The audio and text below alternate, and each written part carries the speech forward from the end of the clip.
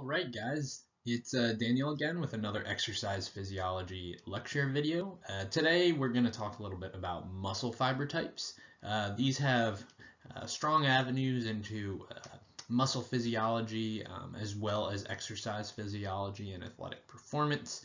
Uh, in this lecture, we're going to talk a little bit about muscle fiber types and how they kind of interact with athletic performance. And uh, in the end, we're going to talk a little bit about uh, whether you can actually change your muscle type composition. So uh, if you're interested in that, uh, please stick with me. Um, feel free to uh, like and subscribe if you're interested in these kind of videos, and uh, we'll get started. So the first really important clarification is that your muscle fibers are not all alike. Uh, some of them can contract uh, faster uh, than others, and some may be more or less efficient. So really what this means is if you were to take a muscle, for example, your bicep muscle, and cut it cross-sectionally and look at all the individual muscle fibers, uh, some of the muscle fibers would look similar, however, there would be different types of muscle fibers, and the types and concentrations of those muscle fibers would uh, afford that underlying muscle, uh, the specific types of processes and um, underlying abilities that it has. Um, so next, let's talk a little bit about uh, how we actually test muscle. So this is done with a muscle biopsy, which involves removing a very small piece of the muscle tissue from the muscle belly for analysis. Um, the area where they usually take this sample uh, is usually numbed with a local anesthetic, and then a small incision is made with a scalpel through the skin. Um, a hollow needle is then inserted, and essentially uh, a plunger is pushed through the center of the needle, and what this does is it allows you to snip off a very small sample of that muscle. So it actually allows us to test muscle um, in humans. And it is possible to do this shortly after exercise. I personally have never had a muscle biopsy and you have to get uh, trained pretty extensively to do a muscle biopsy in most labs. Uh, I know in terms of our actual um, uh, labs that I work in, uh, we don't actually do muscle biopsies uh, due to the invasiveness. Uh, it tends to not be something IRBs love to do. Uh, however, if you're at a facility that does do it, it is um, not necessarily super intensive. it's just kind of something you have to get the participants okay with in terms of the IRB approval. So these are the three main types of uh, muscle fibers that you can have. Uh, they're called the type 1 fiber and then the type 2A and 2B. Uh, this can also be referred to as 2A and 2X.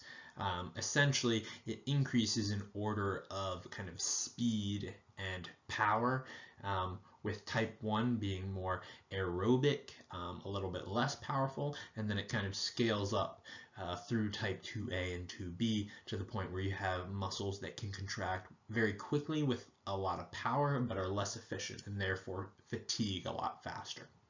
So let's get into some of the more specific natures of these two types of muscle fibers. So these are some of the uh, specifics. For example, the first really pronounced description of the three types of fiber types are uh, slow oxidative, fast oxidative, and fast twitch. So this is kind of just talking about uh, slow and fast twitch in the beginning. However, uh, the type 1 and type 2A are both oxidative. This means it is capable of processing oxygen relatively efficiently and therefore um, they fatigue a little bit slower. Versus the type 2B is a fast twitch and it's glycolytic, which really means that uh, it's not going to be able to produce that peak power for very long. It's going to be exhausted relatively quickly. Then if we go into myoglobin, uh, it kind of makes sense uh, since type 1 and type 2 are highly aerobic and have oxidative uh, capacity, it makes sense that they would have more myoglobin. Um, just for reference, myoglobin is kind of like hemoglobin, it carries oxygen, however myoglobin is specific to uh, muscle. And then as you would expect, the type 2B has very uh, low myoglobin content. Then you have mitochondria. Um, again, this is very similar to myoglobin with type 1 and type 2A, which are highly oxidative, having a lot of mitochondria. Again, mitochondria will process um, the ATP that is created through oxygen uh, in your body and your aerobic system and will be able to process that uh, relatively efficiently. So you're able to have that power output from type 1 and then type 2A for a long period of time due to that mitochondria and aerobic uh, kind of power. Then, as you would expect, uh, that aerobic capacity from the type 1 and type 2A allows those muscle fibers to kind of continue to contract indefinitely or for a very long time versus that type 2B, uh, which is very glycolytic, not very aerobic, but can output a lot of power, will fatigue very fast. Um, in terms of the color, red uh, tends to be more for those highly aerobic types of uh, muscle, and that is because of the high myoglobin concentration, um, the oxygenation of, of that muscle. And then a diameter type 1, again, uh, it's not really putting a lot of output, so as you can think, has a small cross-sectional area, and therefore its contractions are not as kind of forceful and powerful as some of the uh, type 2 fiber types. All right, so now let's go into the type 1 fibers. Uh, so again, type 1 fibers are highly uh, aerobic, which means they tend to be for more endurance uh, efforts. They're fatigue resistance because they're capable of processing uh, oxygen aerobically. Uh, they have that high myoglobin to kind of help with this fatigue resistance and this high uh, aerobic capacity. They have slow contractions. Uh, this is because even though they can kind of uh, go for a long period of time, they're not going to be as strong. They're going to have a smaller cross-sectional area. Um, they also have smaller motor neurons, uh, which innervate less fibers.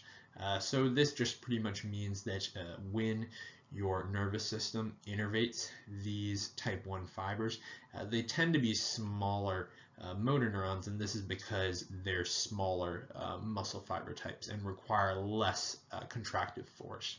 Additionally, they have a less developed OSR uh, because they're not as good and as efficient at releasing and kind of reuptaking calcium. So they're not as quick and as fast at kind of making those contractions. Also, um, kind of to show you on the screen, we have this dark color. This is what a kind of type 1 fiber might look like. It's smaller um, and that dark red color actually comes from uh, that high myoglobin content. So then we have type 2A. Again, this is still aerobic. Um, it is a little bit faster. Um, it fatigues a little bit quicker and not as much myoglobin.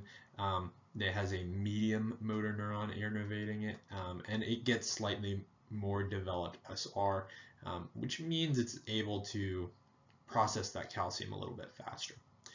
Then finally, we have the type 2B, which are really fast, don't have much uh, myoglobin, therefore can't process as much oxygen, and also therefore have this lighter color. However, these are innervated by the largest motor neurons because of their uh, kind of high force output and high kind of bundling of neurons. They also have a very developed SR due to their need to really uh, release and reuptake calcium at a very quick rate. So in kinesiology, there are two really important principles in terms of fiber type firing. We have this principle orderly recruitment, and then we have the size principle.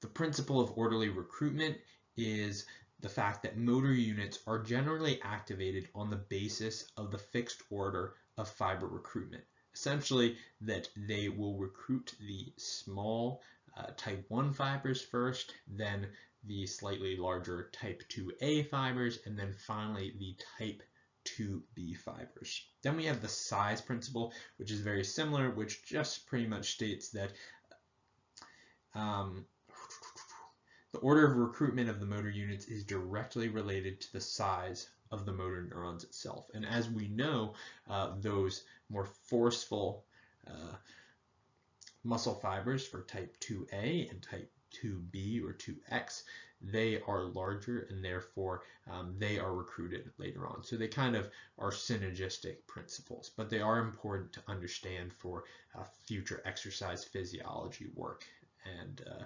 classes. So really quickly, if you look at this slide, we have um, the muscle fiber type compositions based off the athletic endeavors of these individuals.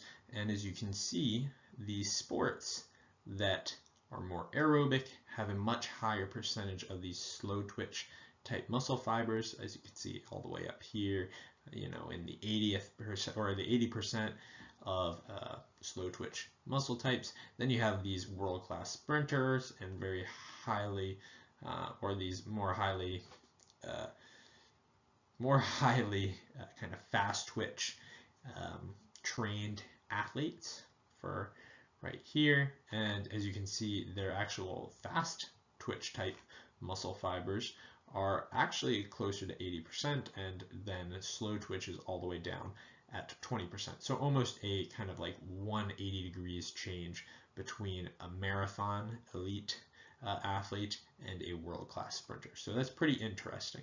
So that kind of brings up the question of, is this something that you are genetically born with? So are you born to be a good sprinter or is it something that you can train?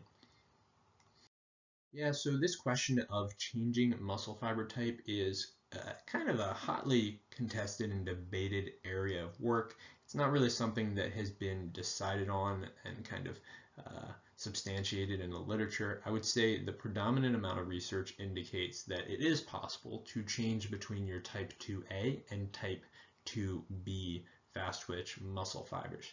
However, there is um, kind of scattered evidence in the literature showing a conversion from type 2 fiber uh, to a slow twitch type 1 fiber and vice versa. There are some studies that have shown it, however there are debates about the way they did it and kind of uh, if those kind of uh, conclusions are uh, well founded. So uh, there is a possibility that kind of changes in the type of exercise you do may change your fiber type composition slightly. However, uh, a large component of that muscle fiber type composition is based off of your uh, personal genetics. So that's all for now. Uh, I can see that the length of the video is getting a little bit long, so I'm going to cut it off here. Um, please like, subscribe, and comment on the video, any questions you might have, um, and uh, stay tuned if you're interested in other exercise physiology uh, videos in the future. Uh, so yeah, everyone have a nice day.